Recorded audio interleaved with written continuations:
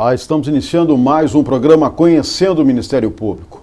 Com a Operação Lava Jato, desencadeada pela Polícia Federal, ganhou destaque na mídia o mecanismo da delação premiada.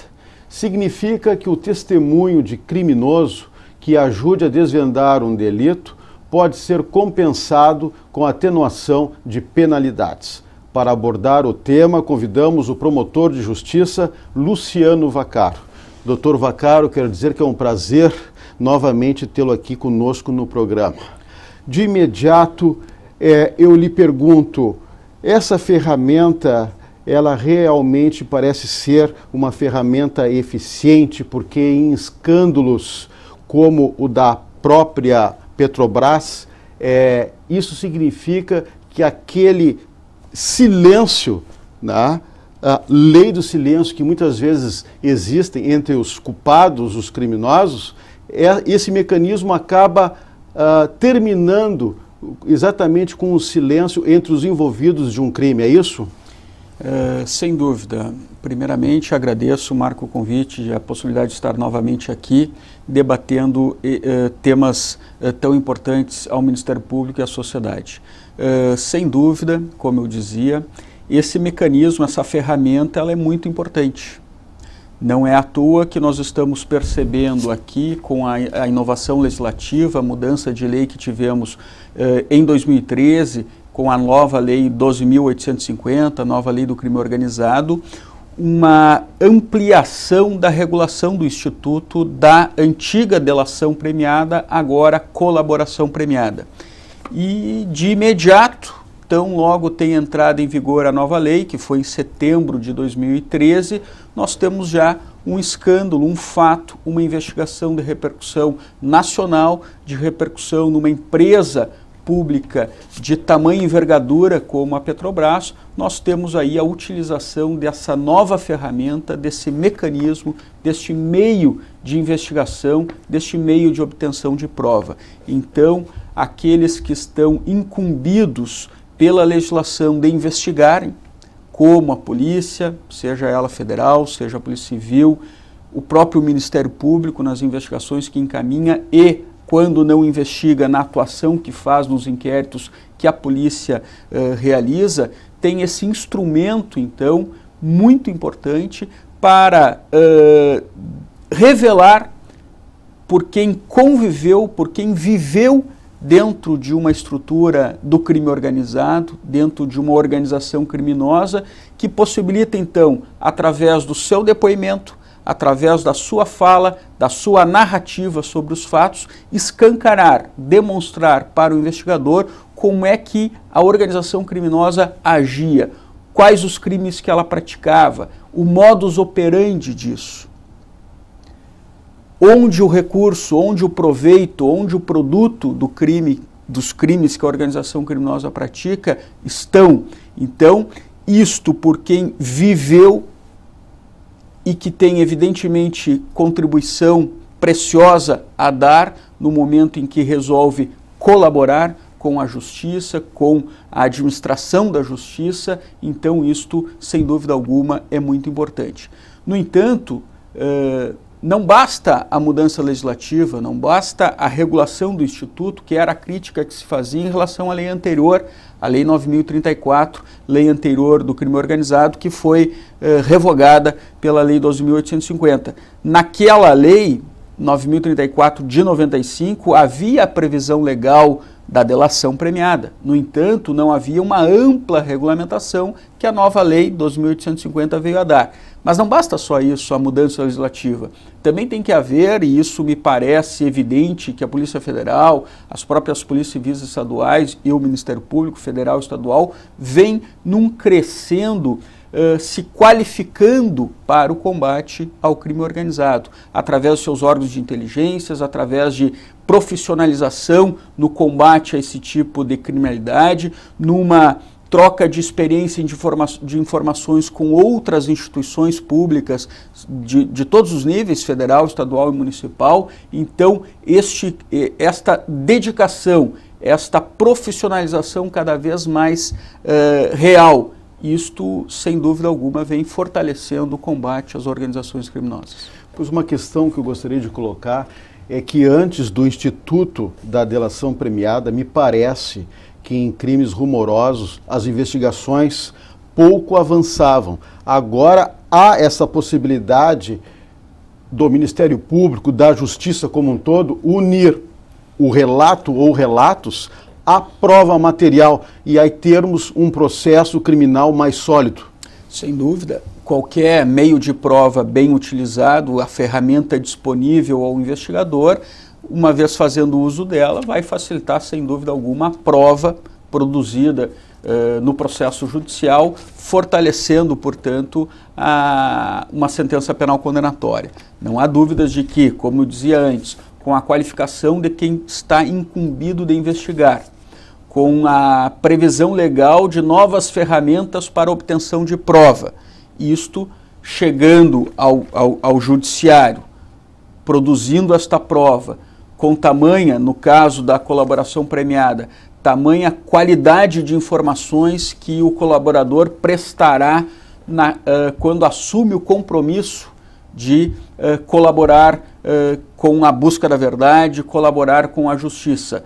Não há dúvidas, como dizia, de que isso fortalece sim a produção da prova e o ato do juiz julgar ele estará uh, facilitado na medida em que tem uma prova uh, de tal qualidade. Como dissemos aqui, com a delação premiada, as investigações ela ganha um maior alcance, né? O Ministério Público, a polícia pode investigar melhor é, todas as áreas. Agora há algumas críticas, principalmente através dos advogados Uh, eu lhe dou um exemplo, a questão da proporcionalidade da pena. O que o senhor acha disso? Sim.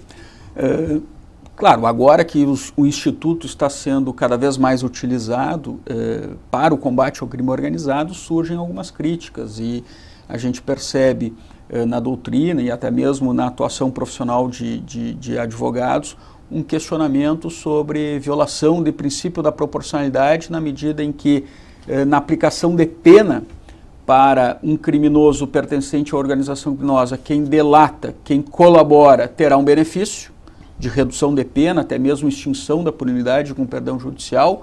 Eh, não e, e, aquele que não colabora, aquele que não faz uso desse instrumento, ele não terá este benefício. Nós teremos ao final uma pena distinta para cada um, eh, ambos tendo praticado os mesmos crimes. Né? Essa é uma das críticas. Eu não concordo é, é, com essa crítica e, em absoluto, devo concordar, porque o próprio sistema de aplicação na, da pena diz que a pena deve ser individualizada individualizada de acordo com as características de cada um. E isso já existia no nosso ordenamento jurídico. Por exemplo, se nós tivéssemos dois praticando o mesmo crime de furto qualificado, por exemplo, em que um dos delinquentes fosse reincidente e o outro delinquente fosse menor, de 21 anos, nós teríamos para um uma agravante, para outro uma atenuante da pena. Isto por si só já levava à aplicação de penas distintas. Então, não vejo qualquer violação ao princípio da proporcionalidade na medida em que nós temos numa investigação de organização criminosa quem colabora com a justiça e por isso deve ser premiado, por isso o nome do instituto, colaboração premiada, com uma benesse legal, uma redução da pena, até mesmo a extinção da pena, uh, ou a substituição da pena por uma restritiva de direito, dependendo da fase aí que a colaboração será uh, prestada, seja antes da sentença ou depois da sentença, isso repercute nos efeitos né, que o colaborador terá daquele que não fez uso desse instituto. Então, não vejo nenhum problema, nenhuma violação ao princípio da proporcionalidade. Uma outra crítica que eu não sei que o senhor concorda é, são de especialistas que entendem que o mecanismo da delação premiada tornaria a investigação policial mais branda e dependente principalmente dos colaboradores. O que o senhor acha? Olha, não acredito que a, o Instituto da Colaboração Premiada será aplicado para todo e qualquer caso. Nós não temos tantas investigações de organização criminosa em andamento, né, comparado com outros crimes, evidentemente, né, uh, embora haja, um, haja uh, uh, a consolidação das organizações criminosas em território brasileiro, né, das mais variadas formas, nós estamos todos vendo aí os escândalos. Portanto, não vejo uma acomodação futura de quem deve investigar, as polícias, o Ministério Público, para se valer tão somente do Instituto da Colaboração Premiada para uh, a sua tarefa ordinária de investigação. É uma ferramenta e a colaboração premiada por si só, ela não pode ser utilizada para uh, condenar. Ah, nós temos que, com base na colaboração premiada, nas informações trazidas pelo colaborador premiado, uh, nós temos que buscar a materialização daquilo tudo que ele irá dizer. Então, não é uma acomodação, não acredito que haverá uma acomodação. Nós teremos aí trabalho sempre para a polícia, para as polícias, por quem eh, incumbe a investigação nesse país. Não vejo nenhum problema assim de acomodação. Senão, nós poderíamos dizer também que a polícia poderia, com o Instituto da Prisão em Flagrante, se acomodar e não investigar mais nada, esperar que haja uma prisão em flagrante para poder, aí sim, iniciar uma formalização de um inquérito policial. Não vejo esse problema. Muitos países utilizam essa ferramenta da delação premiada. Aqui no Brasil, quando ela começou a ser aplicada exatamente e quais foram as transformações ou modificações que ela teve? Colaboração premiada é um instituto que já vem de, uma, de um bom tempo sendo aplicado em diversos países. Isso no âmbito da organização criminosa, no âmbito do combate à corrupção, no âmbito da lavagem de dinheiro, impulsionado até mesmo por convenções internacionais, convenções da ONU. Então, é um levante a nível mundial que existe em relação a determinadas espécies de criminalidade. E a colaboração premiada é mais uma ferramenta, mais um meio de obtenção de prova desses modernos meios de obtenção de prova, como é a atuação do agente infiltrado, como é a ação controlada, como é a interceptação telefônica, né? quebra de sigilo bancário, uh, fiscal, etc. Então, são ferramentas, são instrumentos colocados à disposição de quem investiga para produzir prova em processo. Então, evidentemente que o mundo, né, os países mais avançados, estão caminhando nesse sentido. E o Brasil pode se orgulhar hoje de contar com uma das mais modernas legislações no combate ao crime organizado, que é a nova Lei 12.850. Nós tivemos, primeiramente, no nosso ordenamento jurídico, em 1995, com a Lei 9.034, a primeira lei que trata do crime organizado, e nesta legislação, no seu artigo 6, havia a previsão legal da chamada delação premiada.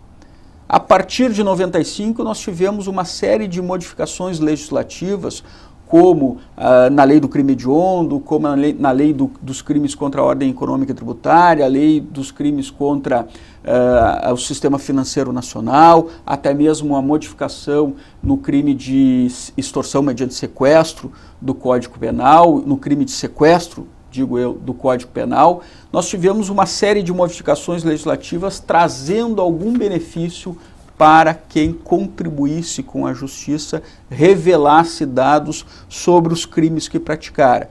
Mas nós nunca tivemos, Marco, e essa era a grande luta, o grande anseio eh, de quem investigava, uma ampla regulação do Instituto, da colaboração premiada e de outros mesmos, como o agente filtrado. Isso só veio ocorrer em 2013 com a Lei 12.850. Então, a partir dessa nova lei, no que tange a colaboração premiada, e aí houve uma modificação do nome jurídico do Instituto, não mais delação, que significava para os comparsas do crime uma espécie de traição, mas para colaboração, porque na verdade, ao fim e ao cabo, quem uh, uh, fala algo, ele está colaborando com a justiça. Então, a nova terminologia veio a, a, a dar guarida a, ao ato be, benéfico que o agente faz, que é colaborar com a justiça.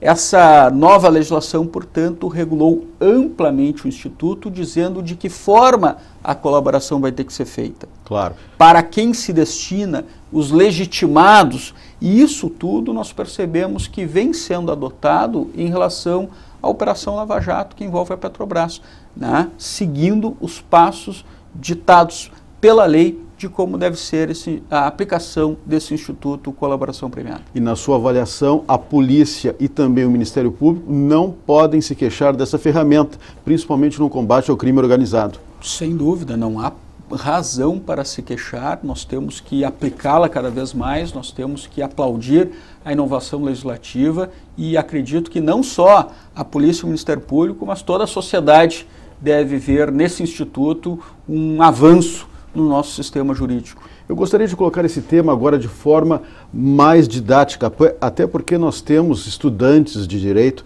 que assistem o nosso programa. O que é mesmo então a delação premiada? A colaboração premiada prevista no artigo 3 uh, da Lei 12.850, ela é a colaboração de alguém que tenha participado de uma organização criminosa, participado dos crimes praticados pela organização criminosa, ele colabora com a justiça, dando detalhes de como essa organização criminosa uh, agia, como ela atuava, que crimes ele pratica, ela praticava, onde está o dinheiro e assim por diante. Então, ele é um ato de entrega, de colaborar, de dizer à justiça, né, aos investigadores, eh, aquilo que eh, foi praticado em determinado período por uma organização criminosa. E em dizendo isso e se confirmando, porque isso é muito importante, não basta o ato do colaborador de eh, relatar aquilo que fez, como fez e com quem fez. Ele tem que possibilitar que os investigadores cheguem aos resultados previstos na lei para que ele seja merecedor, daí sim, dos benefícios da colaboração premiada. Então, colaboração premiada é o gesto pelo qual alguém que praticou crimes, ele colabora, diz, relata e será merecedor de algum benefício. E quem pode propor a delação ou colaboração premiada, doutor, doutor Vacaro? Primeiramente, a delação, a colaboração premiada, ela pode ser reconhecida em qualquer fase do processo, até mesmo da investigação. Então, na fase da investigação, seja ela feita pela polícia ou pelo Ministério Público, quem pode propor a, a colaboração premiada é o delegado de polícia e o Ministério Público. Se o delegado de polícia propõe, junto com a defesa, evidentemente, passará pela intervenção do Ministério Público para ver se concorda, posteriormente pela homologação do Poder Judiciário. Pode o Ministério Público, tanto na fase da investigação quanto já no processo judicial, também propor uh, a colaboração premiada. A colaboração premiada pode ser realizada antes da sentença penal condenatória transitar em julgado, como depois da sentença penal condenatória transitar em julgado. Se a colaboração for realizada antes da sentença penal transitar em julgado, nós teremos como benefícios possíveis para o colaborador o perdão judicial, que acarreta a extinção da punibilidade, a redução da pena em até dois terços, ou a substituição daquela pena privativa de liberdade que será aplicada uh, por restritiva de direito, por pena restritiva de direito. Isto antes da sentença. Posteriormente à sentença, e isso equivale até mesmo à fase de execução da pena, né? Nós teremos como consequências de uma colaboração premiada, nós teremos a possibilidade de redução daquela pena que já foi aplicada na sentença em até metade, ou a progressão do regime, ele foi condenado, está num regime de cumprimento de pena, poderá ser eh, progredido o seu regime independentemente de cumprimento de requisitos né, de, de pena, de quantidade de pena. Esses são os efeitos ou as claro. consequências que a lei prevê. E esses são os benefícios do delator. Do colaborador, colaborador. na nova terminologia utilizada certo. pela Lei 2.850. E quais são os direitos do colaborador? Olha, o colaborador, evidentemente, a, essa aplicação da pena uh, diferenciada, ela é uma das consequências da colaboração premiada e também um direito dele. Mas no artigo 5 da nova lei do crime organizado estabelece ali um elenco, um rol de direitos que o colaborador terá. Né? Uh, como, por exemplo, a aplicação de medidas né, previstas de sua segurança, né, previstas na Lei de Proteção de Vítimas e Testemunhas. Ele pode até mesmo vir a modificar seu nome né, para proteger a sua identidade. Temos como direito dele também o direito de não ser identificado né, ao público. O direi a sua identidade deve ser preservada. Esse é um direito dele. Também temos como direito a possibilidade dele de não manter contato com os demais réus que ele entregou na sua atitude, no seu gesto de colaborar com a justiça. Ele também, em caso de condenação, ele uh, tem a previsão de não cumprir pena no mesmo estabelecimento dos que dos réus que ele entregou. E também na audiência judicial, que, que, que da qual participará, também tem direito de não manter contato visual com os demais réus e nem de ter seu nome revelado, sua identidade, nome, qualificação, etc., revelada uh, para a imprensa. E o que, ah, acontece, é o que acontece mais terminada a delação? Uh, terminada a delação, uma vez prestado o ato de colaborar, que se materializa no termo de acordo de colaboração premiada, nós teremos o processo judicial que seguirá, né? com a denúncia, o reconhecimento posterior, quando o juiz prolatará a sentença, o reconhecimento da eficácia da colaboração premiada. Porque tudo aquilo que o colaborador disser tem que ser, evidentemente, demonstrado por outros meios e tem que a colaboração atingir alguns resultados para ser merecedor daqueles benefícios citados antes. Eh, né, se a colaboração for antes ou depois da sentença. Por exemplo, no ato de colaborar, o colaborador, o réu colaborador, ele deverá dizer uh, o nome né, dos demais participantes dos crimes, né, da organização criminosa. Ele deverá, de, deverá dizer uh, onde está o proveito, o produto do crime uh, da organização criminosa. Deve ele dizer por exemplo, qual é a estrutura hierárquica e a divisão de tarefas daquela organização criminosa. Claro. E a questão do sigilo, doutor Vacaro, quando termina o sigilo da delação? O sigilo da delação termina com o oferecimento da denúncia. Até então, toda a investigação ela deve ser tratada uh, em sigilo tendo acesso restrito apenas ao juiz, ao promotor, ao delegado que participou da investigação e da colaboração e em casos uh, da própria defesa. Né? Uh, ela é uma tramita em, em sigilo, em autos apartados, com o oferecimento da denúncia baseada naquela colaboração em toda a investigação que foi feita, é que há o levantamento do sigilo. Evidentemente que devem ser resguardados com o ato de se levantar o sigilo, deve ser resguardado um, os direitos, devem ser resguardados os direitos do colaborador, que são aqueles de manter a sua identidade eh, preservada. Então há que se compatibilizar o levantamento do sigilo com a preservação da identidade e dados qualificativos de quem colabora. Ok. O programa está já na fase final, mas o senhor tem um minutinho para suas considerações finais. Eu gostaria de dizer que essa legislação, esse Instituto da Colaboração Premiada, como já disse antes, é extremamente importante.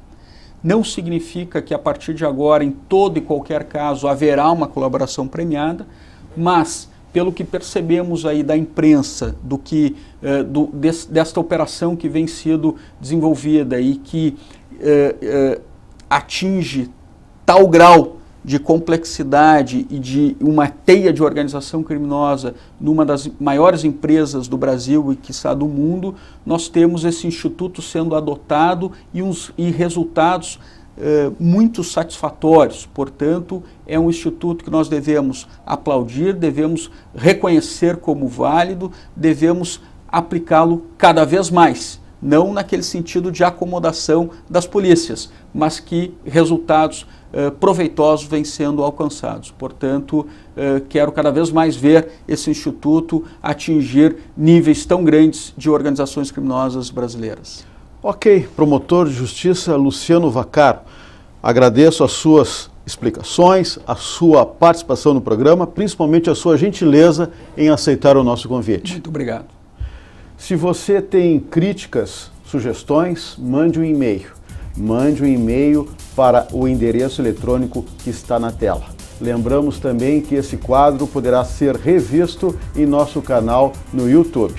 Na próxima semana voltaremos com mais um assunto de interesse da sociedade no programa Conhecendo o Ministério Público. Até lá!